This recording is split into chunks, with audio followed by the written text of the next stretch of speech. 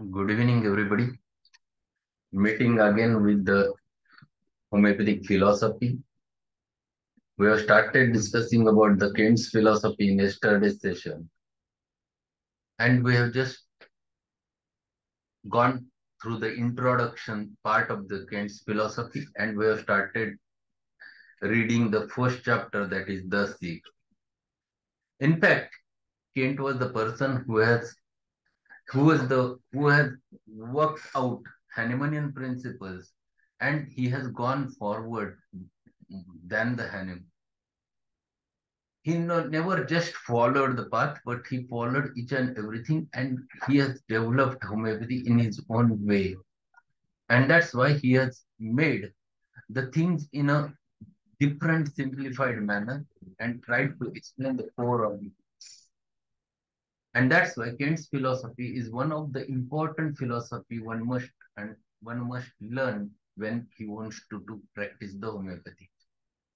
We have started discussing about the chapter The Sick. And in the introductory part of this chapter, The Sick, we have learned that differentiation between the old school, that is the allopathy and homeopathy.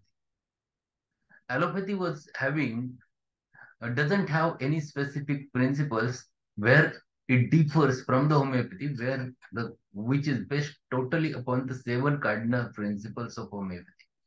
And those cardinal principles gives homeopathy a unique aspect, because of which it is possible that we, we don't have to take opinion, we have to just follow the path, we have to just follow the principles whole allopathic system of medicine is based upon the concept of opinions, theories, their own thoughts, their own concepts.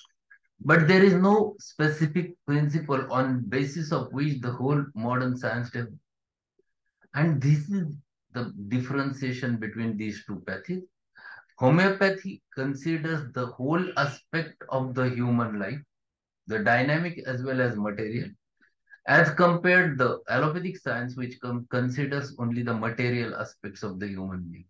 And that's why there are many, many times they don't have answers to the causes of diseases, whereas in homeopathy, we have we know exactly the causes of diseases, which are hidden in the dynamic aspects of the human life. Because we take into consideration the dynamic aspect of the human life. And this is the differentiation with which he starts with this chapter. And then he turns toward the first uh, aphorism. We were up to that level. So what he says, the first paragraph of organon will be understood by the by an inexperienced observer to mean one thing and that and by the true and experienced homeopath to mean another. So he writes the first aphorism, the physician's high and only mission is to restore the sick to health, to cure as it is termed.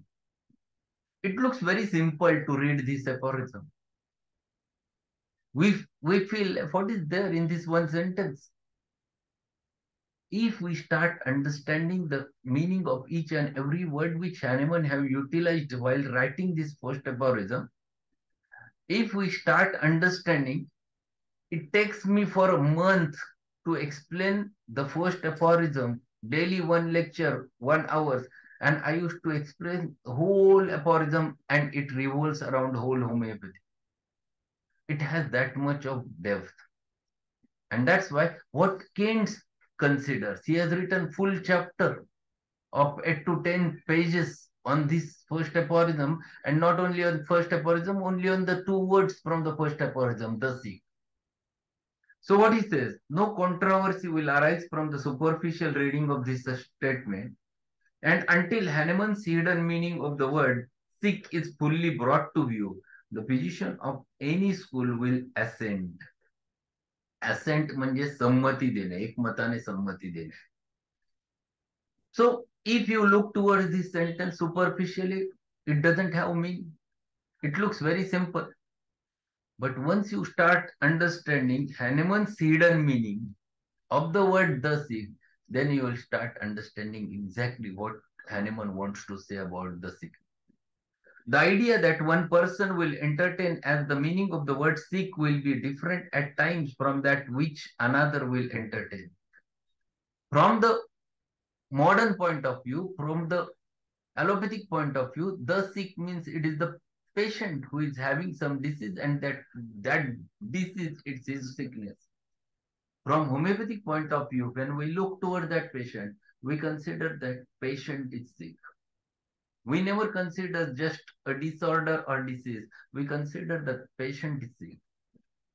So long as it remains a matter of opinion, there will be differences of opinion. Therefore, the homeopaths must abandon the mere expression of opinion. Allopathy rests on the individual opinion. And homeopathy, allopath says that the science of medicine is based on consensus of opinion, but that is an unworthy and unstable foundation of science of curing the sick. There is a vast difference in understanding the concepts in homeopathy and allopathy. Homeopathy, we have fixed foundation. We have cardinal principle, because of which we can prescribe to any patient on the basis of those seven cardinal principles and we can we are sure about remedy because we we know the path. As compared the allopathic system of medicine never have any specific um, principle. So there are many opinions. Their seniority matters a lot. What is the opinion of the seniors? That matters a lot. They look toward that thing they understand what is what is what is his opinion. And that opinion word, animal the Kent says, it doesn't have any meaning. It is unworthy. Unworthy means ayogya. What he says, allopathy rests on individual opinion, and allopathy says that the science of medicine is based upon consensus of opinion consensus of opinion they, there are many people who used to make their own thoughts and then one concept is considered this is right and that is what the on the basis of which allopathy rests so it is never based on the experimentation. Yes this is the experimentation this is the result and this is the this result is found to prove every time and this is science. It is not like that. It is just eh, what i feel then there is a meeting of 100 people. Then if 70 of them accepts this concept, it will be considered, yes, this concept is right concept. After some days, someone comes with new idea. Again, there will be meeting. They say, yes, your opinion is right. The previous opinion now will not follow. This is how the allopathy works. Still, it becomes a modern. Still, it is called as modern science. Why it is so? It is so because because the way they study, we never study. The difference lies in the study. We never give that much of time to our own pathy. We never give too much time to learn the um, anatomy, the physiology, the pathology, the medicine, the surgery, the gynecology. If we learn them by heart, we have right to say anything because we are we we know the things properly but we lack at that level. And that's why they rules with us. Actually the thing should happen vice versa but it never happens. It will never be possible to establish a rational system of therapeutics until we reason from the facts as they are and not as they sometimes appear. So if we want to make a rational system it should be based upon the facts. It should be based upon the experimentation. The facts should remain persistent, then we can build a rational system. It is not sometimes it's happened like that, sometimes it happens in a different manner, sometimes it happens in third different manner. Then it doesn't work. That never makes, we cannot make a system over there. Allopathy cannot make a system because there is no fixed foundation. Facts as they appear are expressed in the opinions of men, but facts as they are are facts and truths from which the doctrines are evolved and formulated, which will interpret or unlock the kingdoms of nature in the realm of sickness or health. So, whatever the facts are there, and if you observe the facts again and again, and if you get, yes, these are the facts which are real enough, They are appearing like that. They give you exactly the same thing again and again. Then it has a meaning. Those facts gives you the laws. Those facts gives you the doctrine. Those facts gives you detailed understanding about it. And this is what the with which the system is built. Homeopathy is based upon facts. It is based upon experimentation. Hahnemann, while reading the Cullen's Materia Medica, observed that fact, experimented when he knows it is correct. Then he experimented for six years and then he defined, yes, after six years, this is the law of symptoms. Not on day one, he has explained the law of symptoms. Therefore, be aware of opinion of men in science. So you should not, you should be aware about the opinion of the others, what he says. And this is too important. Because opinion is his own thought. Opinion is not the science. Hahnemann has given us principles which we have we can study and advance upon. It is law that governs the world and not the matters of opinion or hypothesis. Hahnemann have given us a law. They have he has given us principles on basis of which we understand homeopathy. And this is the difference. Our homeopathy never depends upon the opinions or hypothesis. We must begin by having respect for law for we have no starting point unless we base our propositions in law. See, this is again very important thing which he has explained. We must have respect for our law. We should follow that law properly. And if we follow it properly, then definitely we'll, will have definitely a success. There is nothing like that opinion over there. So long as we recognize main statements, we are in state of change for main and hypothesis change. If we are dependent upon the opinions, those will going to change. But if we are dependent upon our laws, which are fixed, then nothing will change. Let us acknowledge the authority. And this is what the Hahnemann have developed. The principles and authority is the principle. The true homeopath, when he speaks of the sick, knows that knows who it is that is sick, whereas the allopath does not know. The sentence which has meaning. What he says? True homeopath, when he speaks of the sick, he knows who is that who it is sick. Whereas allopath does not know. Homeopath knows that the man, the principle inside the human being is sick. It is not his body. It is not just his mind. It is the principle which is sick. And that's what he explains over there. Whereas allopath doesn't know. He finds it out sickness in the parts. He finds it out sickness in the tissues. He finds it out sickness in the cells. But there is something prior to it. What is that prior is the vital principle, the vital energy, where the sickness lies.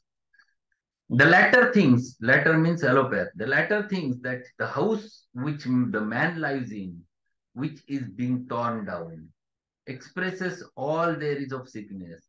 In other words, that the tissue changes, which are only the results of disease, are all there is of the sick man.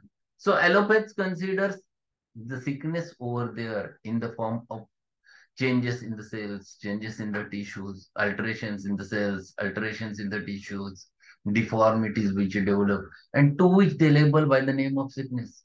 But actually, sickness never lies over there. Sickness is prior to it. And that's why he has in bracket written, which are only the results of disease. So tissue change, cellular change is only the result of the disease. Disease is prior to it. The homeopath observes wonderful changes resulting from potentized medicine. And being compelled to reflect, he sees that crude drug cannot heal the sick and that what changes do effect are not real but only apparent. If you understand where the disease is, then you have to treat that disease at that level. If you don't understand, if you just say, yes, mm, this finger is having the gangrene, this, and because of which the person is deceased, your thought will be just remove the finger, that's all, patient will be healthy. This is the thought of allopathy. Because they look toward that gangrene, they consider its local disease. They treat that gangrene with the help of amputation. but gangrene never gets cured because because you have not cured the prior disease because of which the person has gangrene. Homeopath never prescribes like that. Homeopath never looks towards that gangrene just as a disease.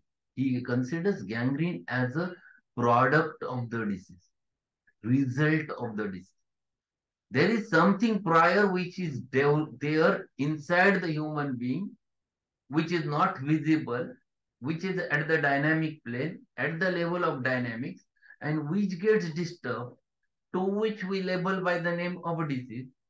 Then that disease is expressing through signs and symptoms. We take into consideration that language of the vital force, language of the nature, and with which we find it out exactly the symptomatology. So if patient comes with the gangrene, there he says, doctor, there is severe burning in my finger, and the only thing with which I feel better that I used to keep that in the hot water. Now gangrene, we don't prescribe for the gangrene. We are prescribing for the that patient.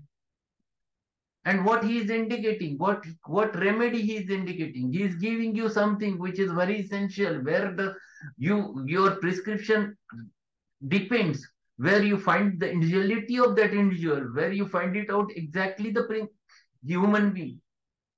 Remedy is arsenic, yes, Anita, very correct. Because because it is the burning better by hot application is the arsenic. It is not gangrene we are treating. We are treating that human being who is having his own characteristic. He is burning better by warm application.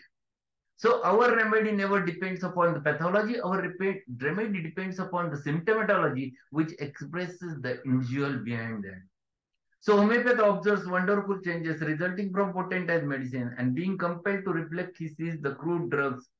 He sees that crude drug cannot heal the sick and that what changes they do effect are not real but only apparent. So whatever the allopaths used to use the allopathic medicine, material medicine, the dynamic disorders never gets cured. Whatever they feel better is temporary. It is apparent. Apparent means just verse, which is visible. Modern physiology has no vital doctrine in its teaching and therefore no basis work work upon. No basis to work upon. The doctrine of vital force is not admitted by teachers of physiology and therefore, the homeopath sees that true physiology is not a taught. For without the vital force, without the simple substance, without the internal as well as the external, there can be no cause and no relation between cause and effect. So what he says, when we learn the physiology, we learn only the physical physiology. We learn only the cells. We start with cells. We understand the sense functions of cells. We understand the constituents of cells, then their functions. But we never understand we, what is prior to that cell. If we go on finding it out, a human being, the human is made up of the systems. The systems are made up of the organs. Organs are made up of the cells. Their cells are made up of the nucleus. The nucleus is made up of the nucleolus. Nucleolus is made up of the DNA and RNA strands. And that DNA and RNA strands are made up of the amino acids, nitrates, etc., which comes from the news. If we give these amino acids, can we make a cell? Can we prepare a cell? Can we prepare a tissue? Can we prepare an organ? No. Then what is prior to it, which is giving the existence of the cell, to which we label by the name of cell, that is vital principle, which liberates the energy, which is autocratic, automatic, which reflects the vital force. So that should be there, without which you cannot consider the existence of a cell. And this is not included in the physiology. And because of which the physiology has a limitation. When we talk about the physiology, it has very big limitation. It reaches to the level of cell, but nothing more than that. We have to consider the prior to that. And prior to that is something invisible, something dynamic, but which exist, which we have to consider on the basis of cause and effect. And then and then we think about the dynamics. Dynamic is always based upon the two important things. On one side, there is cause, on another side, there is effect. Then in between medium, to which we label by certain name, called, called as a dynamic entity. For example, on one hand, you have magnet, another hand, you have a iron rod, and in between medium, when that iron rod gets attracted to the magnet, we never see in between medium, but still we call it science. Tells gives the name, it has a magnetic energy. In the similar manner, when we think about the human being, we have to think about this vital principle.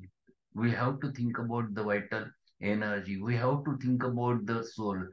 These are very essential things. Vital principle and soul, they are one and same, which we have to take into consideration on the basis of existence of the human being. Once that is lost, it is just a body. It is there because of which I am talking to you. And this is too important, which give exactly the understanding of vital principle. And what Kent says, it should be included in physiology. Once you start understanding this vital energy, vital principle, then you have answers to all your questions. Till you never un understand this, you don't have answers to you. What he further says, now what is meant by the sick? It is the man that is sick and to be restored to health, not his body, not the tissues. See what he says is very correct. It is the man who, who is sick, and you have to treat that man, not his body, not his tissues. You will find many people who will say, I am sick. This is a common answer. What has happened? Doctor, I am not feeling well. What is the I? He is not telling, my hand is not feeling well. He says, I am feeling weak. I means that is man. That is the principle, vital principle inside man. They will enumerate pages of symptoms, pages of sufferings. They look sick, but they will tell. They tell you, I have been to the most eminent physicians. I have had my chest examined. I have been to the neurologist. I have been to the cardiac specialist and have had my heart examined. The eye specialist has examined my eyes. I have been to the gynecologist and they have examined my uterus, says the woman. I have been physically examined from head to foot and they tell me I am not sick, I have no disease. So if you are allopath, you never find it out the sickness because you measure it in the form of cell, in the form of changes in the cells or tissue. And if you don't find it out, you never believe on the patient that he is sick. He is telling you I am sick but still you are not you are in doubt because you never find it out anything many a time i have i heard this story from after getting three or four pages of symptoms he had many symptoms. Patient has many symptoms. But still nothing is found abnormal. They label you are not sick. What does it mean? It is true that if that it is true if that state progresses, there will be evidence of disease. That is evidences which the pathologist may discover by his physical examination. It takes long time to develop evidence. Changes happens early. Changes happens at the functional level first. There is a law of biological development. Lots of now law of biological development it is of three words. Functions creates organs. Only three words are there. Functions creates organs. Means what? When a fertilized egg develops from the sperms and from the ovum, the fertilized egg develops. It is a one cell to which now we label by the name of stem cell. And then that stem cells, once the vital principle enters inside, then it has animation, then it starts further dividing, then it multiplies, then functions are defined. The functions are defined first. For certain cells, it has been labeled. Now it has been given, yes, you work like a brain. Another group of cells to which it has been labeled, now you work as a GI system. To the third one, it has been labeled, now you work as a extremity. Few cells, the functions are given, you work as a heart. And then they start changing in their aspects. So the nervous tissues will develop or cells develops different manner. The cardiac cells develops in a different manner. The muscles develops in a different manner. GI system develops in a different manner. So first functions are defined and from which organ is developed. This is called as law of biological development. This law of biological development is first important entity. And in the similar manner, the way the human develops, in the similar manner, his disease develops. It is not immediately a cell will going to change. First, the functions gets affected. So patients comes to you, I am having headache. You examine, nothing found abnormal, but still he explains, I am having very severe left side headache. It starts from over here and it goes backwards and it's severe, so throbbing. I cannot open eyes. I cannot look towards the um, uh, light. Even sound also, it, it is associated with palpitation. He's giving you exactly the symptomatology. Allopath examining, he examines his eyes, everything found normal. He do his scan, nothing is abnormal, everything. And then he labels that you are normal, nothing problem. Just take this um, tranquilizer. And it never works. He gives the material medicine. This is a dynamic. It persists for years together with allopaths. And then the when after two years he was re-examined and do his MRI, then he found there is a cyst over there in his in his eyes in the on the back side.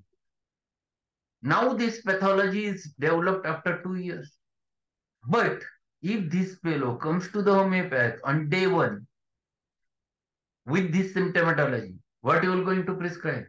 Because it is not that we are going to prescribe for his pathology. We are going to prescribe for man who is expressing his symptomatology. So what is the remedy? Remedy is very clear. It is the spigelia, which will which have typical headache, which is orbital headache, supraorbital headache, with severe throbbing associated with palpitation, neuralgic pains going from up, mm, from front to back, back to front, very typical spigelia headache. And if that patient have been treated by this uh, homeopath, patient would have been cured. No further development of the disease happens and no further pathology will, would have developed the patient might have cured at that level. And this is the difference between the allopath and homeopath. They goes on finding it out. Is there any fault at the cellular level? And they, when they don't get it, they say there is no treatment. You are normal. So what is it? What does it mean? It is true if that state progresses, there will be evidence of disease. That is evidence which the pathologist may discover by his physical examination. But at present, the patient is not sick, says the learned doctor. But what do all these symptoms mean? I do not sleep at night. I have pains, aches. My bowels do not move.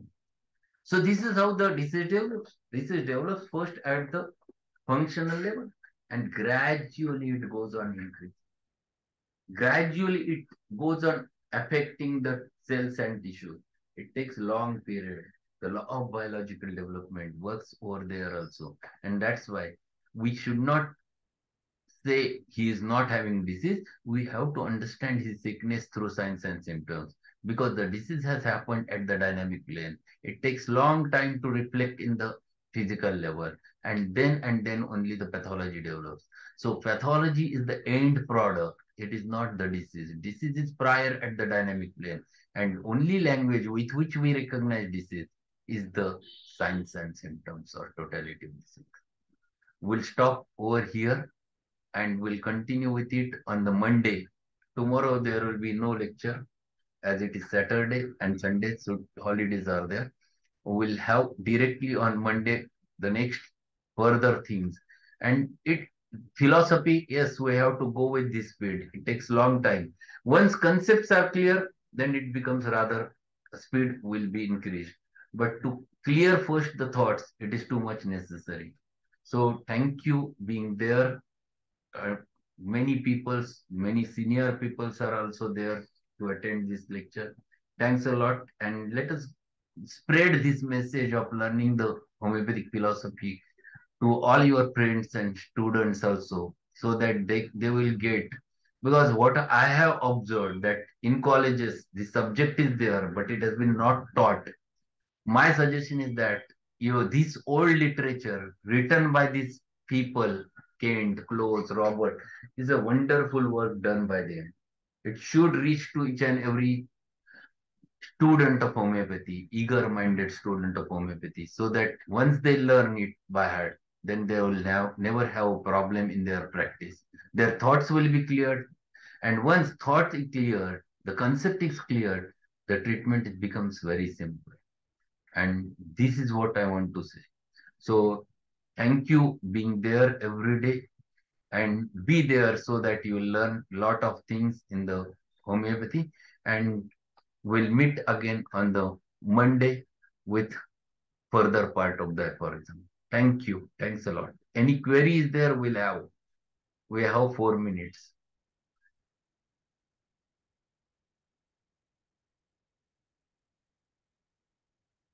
So we'll conclude. Thank you.